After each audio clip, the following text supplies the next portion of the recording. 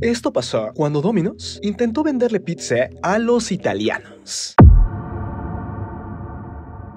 Domino's es una empresa de pizzas que tiene sucursales casi en todo el mundo, ya que a la gente les encanta. Sobre todo se hizo famosa por su servicio a domicilio y que si en 30 minutos no llegaba, era gratis. Con el paso del tiempo ha ido cambiando. Por ejemplo, ahora ya no solo vende pizzas, vende otros platillos más, desde postres hasta papas fritas. Ahora bien, en 2015, Domino's quiso entrar a Italia. Y lo que ocurrió después fue una completa locura. Como todos sabemos, la pizza tiene en gran parte su origen en Italia. Pero la pizza que actualmente conocemos, la comercial, en general, no tiene nada que ver con la italiana. Es por eso que la empresa Domino's se encontraba muy emocionada de llegar a Italia, pensando que como los italianos amaban la pizza, iban a aceptar la de Domino's e incluso la iban a amar.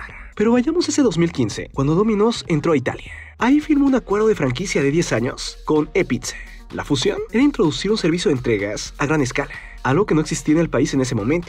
Pero siete años después, el gigante estadounidense Domino's ha dicho que se va de Italia y ha cerrado formalmente todas sus tiendas porque la gente de Italia prefiere las opciones locales. Les fue tan mal que ePizza se declaró en quiebra en abril y las sucursales de Domino's en Italia cerrarán sus puertas el 20 de julio. Según muchos italianos, la derrota de Domino's fue por su intento descarado de infiltrarse en la patria de las pizzas con su propuesta estadounidense. Y es que los italianos dijeron, nosotros inventamos la pizza y nuestra pizza es mejor en todo sentido.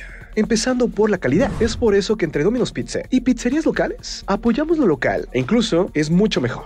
Y es que te repito, las pizzas de Italia no tienen que ver nada con las pizzas estadounidenses de cadena, como Little Caesars, Domino's, Pizza Hut, en fin. Es por eso que Domino's, aunque intentó ganarse Italia, fue sacado a patadas. Ahora bien, un punto que hay que dejar en claro es que la mayoría de pizzerías locales en Italia no tenían servicio a domicilio, pero a partir de la llegada de Domino's, decidieron dar ese servicio. Es así que Domino's ya no tenía absolutamente nada especial que dar. Es decir, lo que tenía especial era el servicio a domicilio.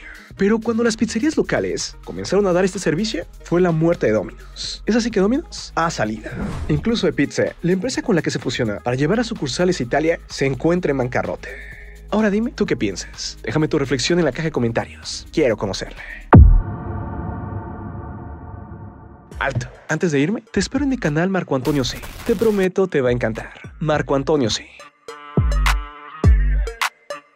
Yo soy Marco Antonio C. Y esto, esto es tu Cosmópolis. Nos vemos pronto, un abrazo fuerte, bye.